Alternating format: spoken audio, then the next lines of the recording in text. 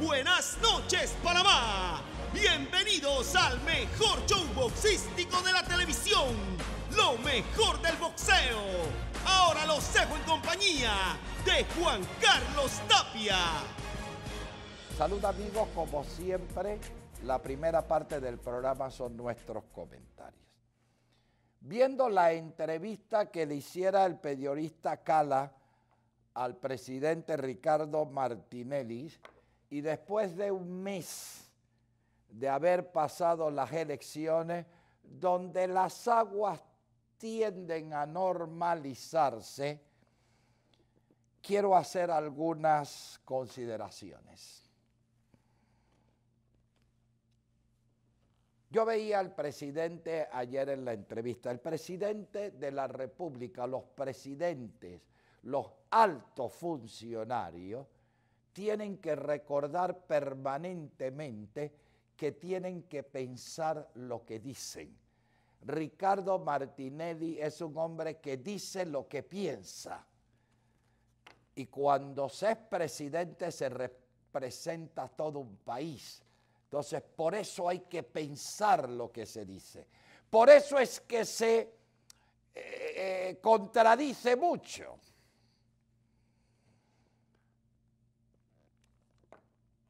Yo sigo insistiendo, a pesar de que cierta gente alrededor del presidente Martinelli eh, dice que no, yo sigo pensando que el único causante de la pérdida del candidato José Domingo Arias fue el propio Ricardo Martinelli. Ganaron en todo el cambio democrático, menos en la presidencia confundió el presidente Martinelli gestión de gobierno con intención de voto.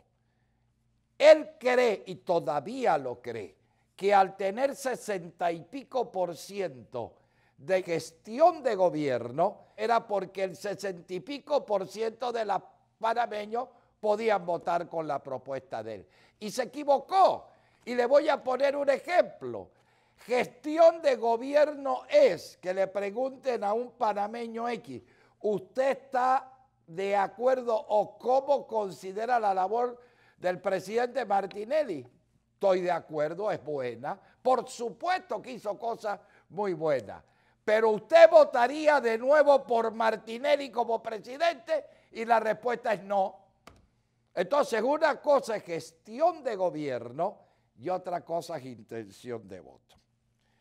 Ahora, cuando el candidato de cambio democrático, que llegó a tener 38, 39% de intención de voto, que fue con lo que ganó Juan Carlos Varela, ¿qué significa tener 38% de intención de voto? Es que hay mucha gente que no lo analiza. Tienes el 62% que no está contigo. ¿Y qué hizo el presidente Martinelli en lugar de captar esa gente?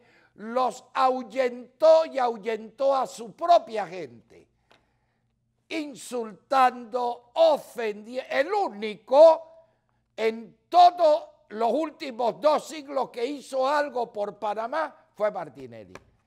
Le decía runcho a los expresidentes, a los ustedes no han hecho nada, se robaron toda la plata y eso va creando, eso va, miren, un empleado se te va más rápido porque lo trates mal a que le pagues mal. Los sentimientos son más fuertes que las obras y aquí se pudo comprobar.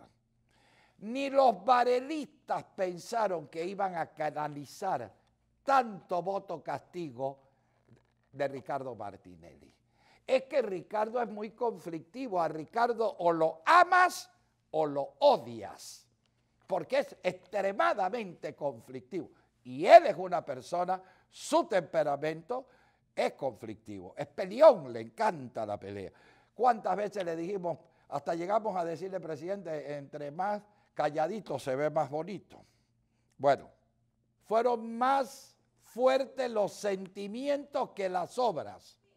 Ahora, Juan Carlos Varela, el presidente entrante, tiene un tremendo reto, porque el que desconozca que Martinelli no hizo cosas buenas en este país está ciego.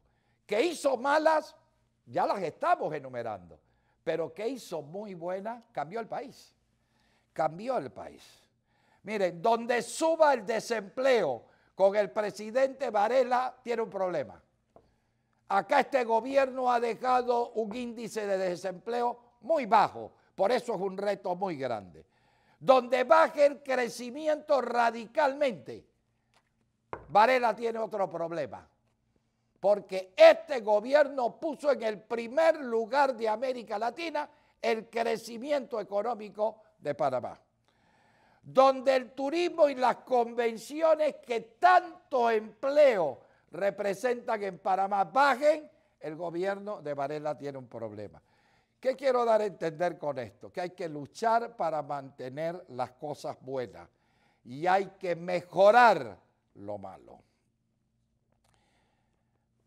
Decía ayer en la entrevista Martinelli, por eso es que yo digo que él dice lo que piensa y él debe pensar lo que dice, que en Panamá no hay celebridades y que aquí por eso es que atacan a los políticos.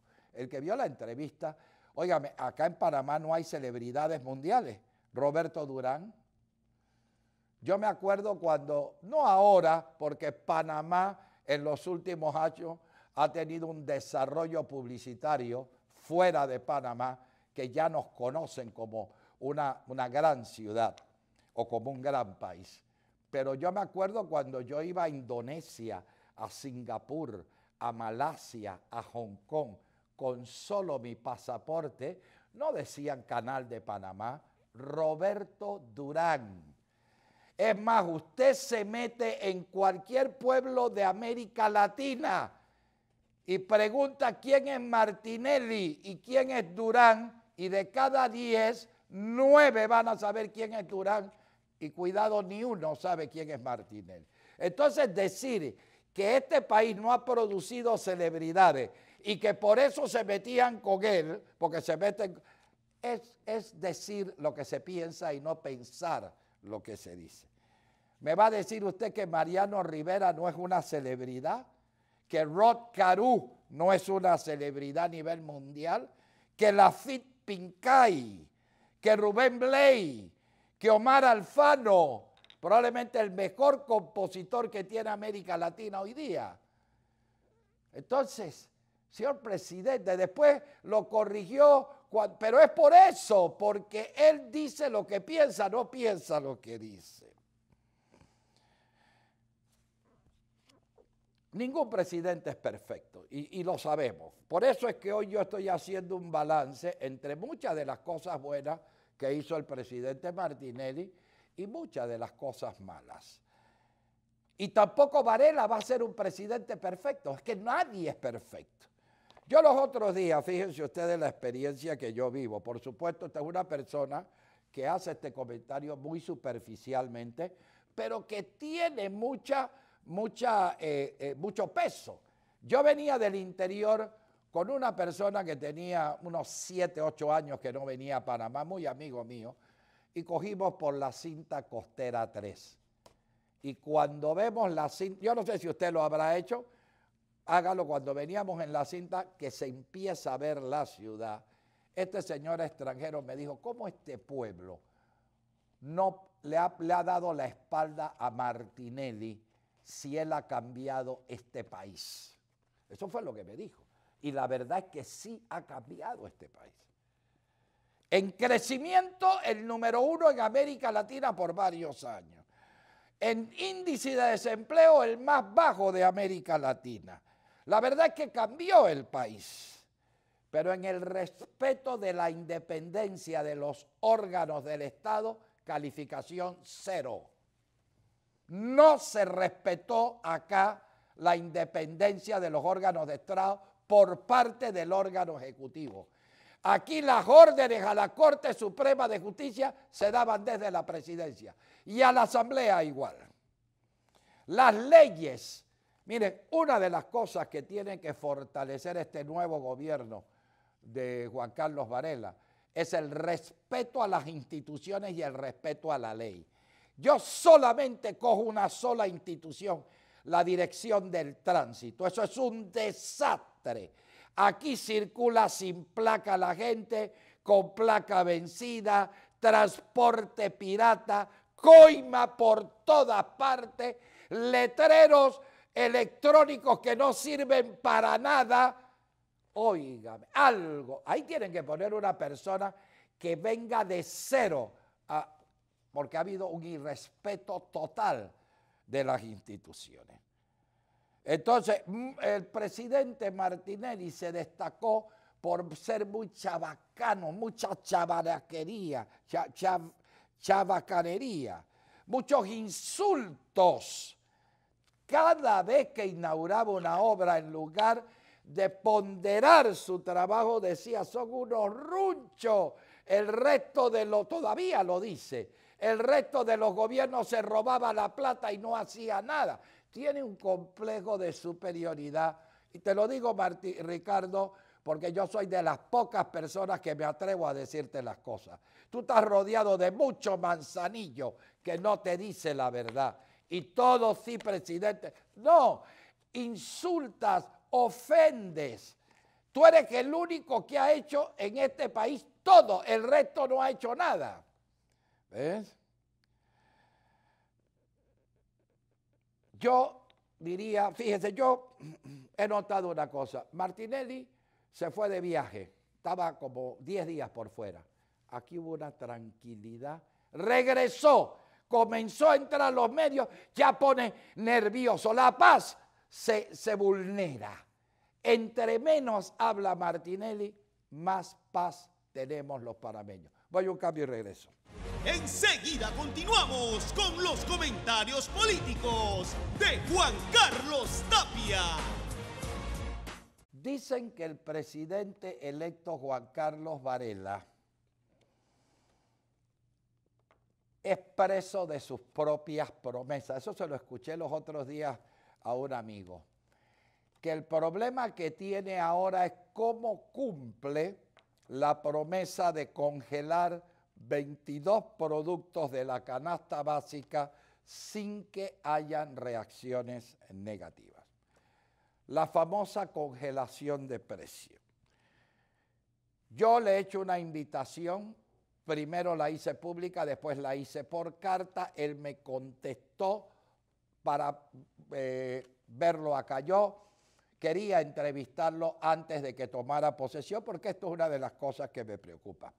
Pero hoy, ¿qué voy a hacer? Yo voy a poner lo que él dijo cuando era candidato a presidente sobre la congelación de estos 22 productos. Y voy a poner la contraparte en un estudio muy serio que ha hecho CNN en relación con esto mismo. ¿Cuál es mi labor? Poner las dos caras de la moneda. Vamos a ver la entrevista de Juan Carlos Varela y después vamos a hacer un, puente para ver el estudio que hace CNN. Vamos a verla. Uno de los principales problemas que está afectando al pueblo panameño es el costo de la vida. ¿Y, por qué este, esta afectación? Por la especulación que se está dando en el costo de los alimentos. El tema de la especulación le cuesta a cada familia panameña de cuatro personas 60 dólares por familia al mes. Son casi 800 mil familias, tomemos en cuenta, esto es casi 50 millones al mes, 600 millones al año, porque se está especulando con los alimentos. Los alimentos en los últimos cuatro años han aumentado 30% en Panamá, 6% en el resto del mundo. La única forma de enfrentar esto es con controles de precio de emergencia, yendo de frente contra la especulación. Artículo 284 de la Constitución, Ley 45 del 2007. Hacer uso de las leyes del país y defender los intereses del pueblo. Artículo? Claramente que cuando hay especulación y uno identifica que hay especulación, el Estado puede establecer e intervenir, como lo vamos a hacer en más de 20 productos de la canasta básica con control de precio de. Te doy un ejemplo. Yo empecé a hablar de que la lenteja importada en Panamá llegaba a 25 centavos y se vendía a un dólar en los supermercados en ese momento. Y que el huevo se producía y se vendía a 10 centavos con el margen ya de la, de la avícola y se vendía hasta 25 centavos. La realidad es que ya ambos productos, por el debate que hemos creado, están a 35 centavos la lenteja en la jumboferia y en los supermercados y el huevo está a 12 centavos. Se quiere decir que había una especulación en esos dos productos. ¿Cuál es la diferencia? que nuestro gobierno va a hacer en 20 productos y en todos los supermercados, no solo en las jumboferias. Te doy un ejemplo. En el extra Reján, la canasta básica cuesta 271 balúas. Y en otros supermercados, a un minuto de ese extra Reján, no es por la cuña gratis al extra, sino que es la realidad y hay que ser justo, cuesta 335, 340. Una diferencia de 60, 65 dólares. Ahí está esa especulación que está afectando a la población. En la misma área. En, la misma área. Estamos hablando de dos minutos en carro. Entonces, eso... Ahora, ¿qué productos, por ejemplo, has pensado tú que podrías congelarle el precio? Dinos algunos. Te, doy un ejemplo. La libra de punta de palomilla, uno la encuentra desde 2.70 hasta 3.70. La libra de pollo Panamá, que es el pollo criado en serie, uno la encuentra desde 1.15 hasta 1.55. sin, sin, duda alguna, esto lo hemos hablado con los productores, lo hicimos con la lenteja, lo hicimos ya... Eh, eh, ¿Y tú no crees que eso puede, puede inhibir eh, la producción. De ninguna forma, porque al, al, productor le damos estabilidad de precio y estabilidad de mercado. Le garantizamos que va a vender su cosecha y que va a recibir un precio justo por su cosecha. Hay cadenas agroalimentarias que establecen el precio que se le paga al productor. El control de precio de emergencia es controlar el margen, evitar la especulación, que es la que está afectando al pueblo panameño el día de hoy. Eso es control de precio de emergencia, que el Estado intervenga cuando identifica una especulación. Doy un ejemplo. Una libra de azúcar que se vende a 45 centavos, ahora subió un poco, llega hasta 75 centavos. O sea, se le está aplicando un margen hasta de 80% al azúcar en algunas tiendas, al huevo de 90%, a la lenteja de 200%. ¿Eso qué es? especular con los alimentos del pueblo y afectar a la población. Por eso luego de un debate de 18 meses... Sobre eso mismo te quiero Llegamos a esa conclusión. Pues sobre eso mismo, porque esto es más importante, es el problema que identifica número uno los panameños. Claro. Eh, el costo es 600 millones al año. ¿Qué gobierno que tú recuerdes ha bajado la canasta básica? Sin embargo, tú lo estás prometiendo.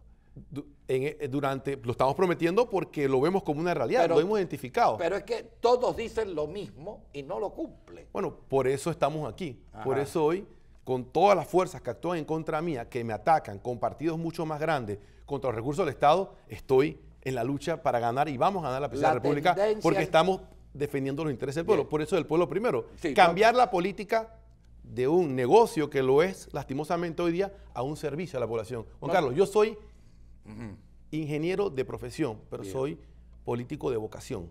O sea, esa, es mi vida. Mi vida es, este, este plan de trabajo que tú ves aquí, hasta el último punto y coma lo he revisado.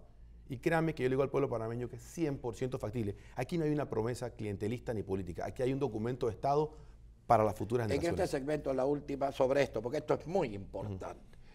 Si la tendencia de la mayoría de los países es la libre oferta, ¿Por qué crees tú que la solución es congelar los precios? Queremos proteger a la población, porque Panamá está identificado. Pero esto no puede, no puede escasear. No, va a haber ningún tipo de escasez porque de una forma u otra uno le da estabilidad al productor en su precio y de una forma u otra es cuando se identifica la especulación, cuando el gobierno procede y entra. CNN, que es una empresa de prestigio eh, a nivel mundial, hizo un estudio basada en la experiencia de otros países que han congelado precios. Y aquí está ese estudio dicho por este eh, famoso comentarista. Vamos a verlo. Controlar los precios no funciona. Este es el tema de hoy. Si les digo control de precios, ¿piensan ustedes en esto? Señores, no están equivocados. ¿Por qué hablo de esto? La presidenta del gobierno argentino, Cristina Fernández, relanzó el control de precios sobre los supermercados. Ya en febrero de este año el gobierno había ordenado la congelación de los precios de todos los productos que se comercializan en los grandes supermercados. Según reportes del diario La Nación en Argentina, se han liberado los precios salvo en un listado de unos 500 productos básicos cómo mantener el control, la presidenta llamó a los militantes para que denuncien a los empresarios que cumplan el congelamiento de precios. La oposición, uff, volaron las acusaciones de stalinistas y milicias ciudadanas. ¿Por qué el control de precios? El gobierno parte de la premisa de que son los empresarios quienes especulan queriendo obtener más ganancias porque los precios de las cosas están subiendo. Yo me pregunto, ¿Acaso en Argentina no vieron dónde terminó Venezuela? Que hasta la Asamblea Nacional, escuchen, La Asamblea Nacional de una potencia petrolera tuvo que aprobar un paquete para la adquisición de toallas sanitarias, jabón de tocador y pañales para bebé. Se olvidan de que en enero del 2010 el presidente Hugo Chávez llamó al ejército, a la Guardia Nacional, a las milicias a salir a la calle a luchar contra la especulación. También impusieron una ley de precios en Venezuela. Y hoy tienen un problema de desabastecimiento agudo. Les digo que hasta el papel higiénico, sí, el papel higiénico, lo tienen que importar. El control de precios no es la solución. ¿Por qué? Porque la cantidad y la calidad de los productos se reducen. No podemos olvidar el mecanismo en los precios, señores. Hay una oferta y hay una demanda. Si afectas la oferta y a la vez incentivas la demanda, ya tienes un desequilibrio de precios. ¿Qué pasa entonces? El precio tiene que subir. Con el control de precios desincentiva la producción, alimentas la especulación y las expectativas de inflación y de escasez. ¿A ustedes les suena el desabastecimiento? Controlar precios es básicamente echar pólvora sobre un fuego. Cuando escucho a los políticos decir que el control de precios es la solución para controlar el crecimiento de precios, por una parte entiendo su preocupación económica, pero cuando dicen que la causa del incremento de los precios son los empresarios, les digo lo que me dijo Abraham Lincoln. Oye, puedes engañar a algunos todo el tiempo, puedes engañar a todos en algún momento, pero no puedes engañar a todos todo el tiempo. Toma nota.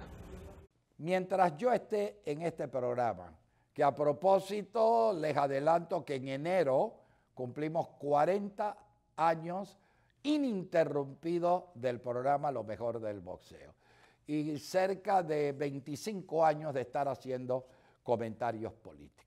Mientras yo tenga, Dios me dé la fuerza para estar en este programa, siempre presentaré de la forma más objetiva las dos caras de la moneda. Voy a un cambio comercial y regreso. Quédese con nosotros, que al volver continuamos con más de los comentarios políticos de Juan Carlos Tapia. Ustedes vieron ayer que en la repartición de las credenciales para diputados, ningún diputado de Cambio Democrático ni de Molirena asistió en signos de protesta por las impugnaciones que tienen sus compañeros. Hay impugnados del PRD, del parabeñismo, pero la mayoría son de cambio democrático.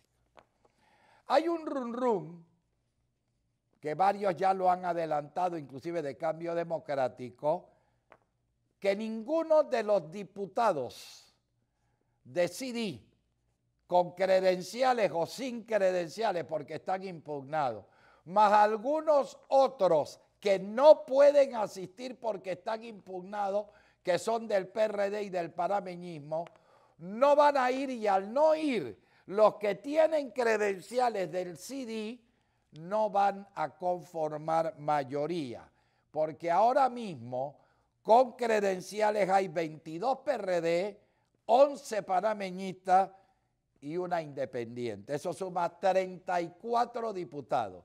Y la mayoría la hacen 36. De darse este caso, no podría juramentar la Asamblea Nacional al nuevo presidente. Pero ¿qué dice la Constitución? Que sabiamente tiene contemplado una situación como esta, que es en el artículo 182 que leo tal como dice. Dice, si por cualquier motivo el presidente o el vicepresidente de la República no pudiera tomar posesión ante la Asamblea Nacional, lo hará ante la Corte Suprema de Justicia. Si esto no fuere posible, ante un notario público y en defecto de este, ante dos testigos hábiles. O sea que no hay forma de impedir la toma de posesión del nuevo presidente. Lo único que la complicaría, a lo mejor no es el mismo primero de julio, a lo mejor la corte tendría que ir a la asamblea o el presidente ir a la corte o, de repente utilizar un nota, pero podría suceder si los eh, candidatos a diputados del CD no asisten a eh, la inauguración de la Asamblea. Quería adelantarles porque cunde el pánico y dice, no, lo que no quieren es que Varela sea el presidente y mantenerse Martínez. No es posible, no es posible. Así es que quería... Ok, vamos a ver un poco los pocos ministros que han nombrado. Yo sí estoy de acuerdo, ya prometió Varela que el lunes va a tener la mayoría de los puestos. Hay un proceso de transición. Esto no es quítate tú para ponerme yo. Esto es un proceso y ya menos de un mes es poco tiempo para la transición. Entonces sí es bueno que eh, yo me acuerdo que en el 2009 a las dos semanas estaban todos los funcionarios nombrados. Esta vez yo creo que no está ni la mitad de los funcionarios nombrados. Pero vamos a ver los que ha nombrado y eh, eh, opiniones muy iniciales que pudiera tener este servidor de cada uno de los nombrados, pero que pudieran ser elementos para considerar. Álvaro Alemán reemplaza en el Ministerio de la Presidencia a Roberto Enrique. A mí me parece al señor Alemán una persona muy centrada, muy tranquila, eh, eh, eh, muy inteligente, que si luce así pudiera ser una, una gran, un gran ministerio en la presidencia.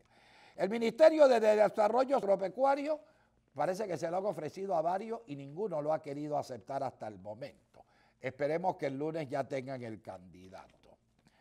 Eh, bueno, Alemán reemplaza a Roberto Enrique y el ministro actual de Desarrollo Agropecuario es Oscar Osorio Casal. Ok, ya Jorge Ricardo Fábrega, que yo debo aclarar algo porque yo soy una persona de justicia. A mí me llamó Jorge Ricardo Fábrega, que me parece una persona muy decente, eh, muy correcta, para decirme que a él lo habían puesto a bailar en este gobierno con la más fea. Y a él le tocó llevar el, el proyecto de ley del reconocimiento de las parejas gay en Panamá, pero que esa no fue una iniciativa de él. Él como ministro de gobierno esto se planteó en un gabinete, creo que por otro viceministro o viceministra, y él le tocaba como ministro de gobierno eh, sustentar esto. Pero dice, esta es la más fea que me tocó y por eso la han retirado. Yo tengo que aclarar eso porque él no tiene ninguna responsabilidad con, con, esta, con este proyecto de ley. Pero ¿quién reemplaza a Jorge Ricardo Fábrega? Milton Enrique. Yo creo que Milton sin lugar a equivocarme, yo conozco a Milton hace 40 años, cuando llegó a mi programa El que ríe de último ríe mejor, rozando el 84, eso hace 30 años, y es uno de los hombres más inteligentes y brillantes que yo he conocido. Milton debe hacer un tremendo ministerio. Él lo sabe, él sabe la opinión, somos amigos, la familia es amiga, y, yo he hecho críticas del partido de él, que yo sé que a veces no le gustan. Yo siempre hago críticas políticas, no personales, pero Milton Enrique es uno de los hombres más brillantes que tiene Panamá. Creo que va a ser. El ministro de el canal que es Roberto Roy no hay reemplazo todavía. El ministro de Economía y Finanzas, Fran de Lima, lo reemplaza Dulcidio de la Guardia. Yo conocí a Dulcidio acá en mi, en mi, en mi oficina él vino a explicarme cuando la compra de los corredores, ya él fue, creo que viceministro y ministro encargado, un hombre de experiencia, es un economista, debiera ser un gran ministro también. Yo creo que han sido bien escogidos los ministros hasta el momento. El Ministerio de Desarrollo Social no tiene reemplazo, no, han no le han nombrado todavía el reemplazo a Ferrufino. El Ministerio de Relaciones Exteriores, Francisco Álvarez de Soto, que yo diría que en los últimos días de este gobierno como que le puso paz, un poco de tranquilidad, de inteligencia, de sosiego, que no le había puesto el anterior ministro, él lo puso, calmó un poco.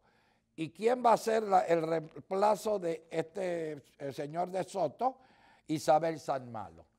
Yo tengo que reconocer que yo a Isabel la he conocido ahora, sus padres cuando yo hablé de ella, los dos me llamaron, he hablado dos, tres veces, pero me parece primero una mujer muy decente, muy interesada en el beneficio del país.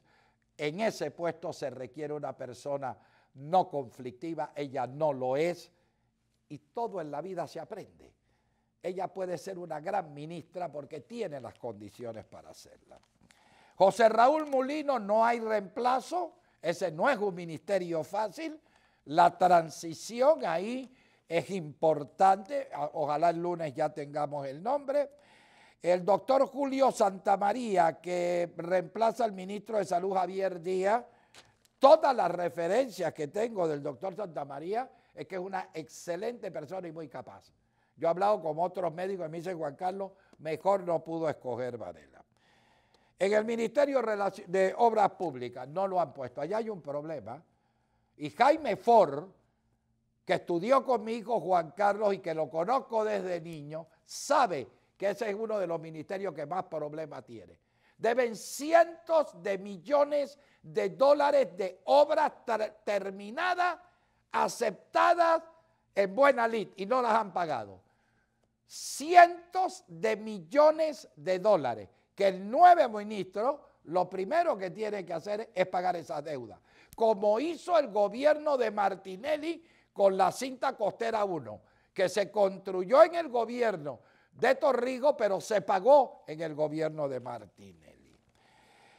El Ministerio de Trabajo, Alma Cortés la reemplaza Luis Ernesto Carles, eh, él fue viceministro de ella. Tuvieron choque, pero creo que conoce el ministerio. Yo de Luis Ernesto Carles conozco poco, pero por lo menos tiene la experiencia. Ministerio de Educación, ahí sí van a tener que buscarlo con lupa, porque reemplazar a Lucy con todos los problemas que ha tenido Lucy no va a ser fácil. Es que ministro que pongan, allá hay un grupo de educadores que le van a hacer la vida de cuadrito. Ahí tienen que buscar a alguien enérgico, que no sea conflictivo, pero que, que tenga fuerza, porque si no se lo comen los educadores. En el Ministerio de Comercio e Industria no hay reemplazo todavía para, para Ricardo Quijano y en el Ministerio de Vivienda para Yasmina Pimentel tampoco hay eh, reemplazo. Yo estoy de acuerdo de que a más tardar la próxima semana deben estar cubiertos todos estos puestos por efecto de la transición. Ya quedan 20 días, veintitantos días hábiles, 20 días hábiles, así es que hay, hay que hacerlo. Eh, yo quiero terminar con una buena noticia. Hay una persona que yo no escondo mi simpatía por él porque es un empresario tan noble. Estoy hablando de Bobby Sanetato. La empresa de Bobby Sanetato acaba de ganar el Global Trade Leaders Club, el trofeo de líder. 30 empresas en el mundo, en Panamá la ganó H. Sanetato, de Bobby Sanetato Ustedes ven el trofeo que le entrega el señor Rosso a Alberto Paz Rodríguez, el gerente general de Sanetato. Un saludo, Bobby. Vamos contigo, Antonio.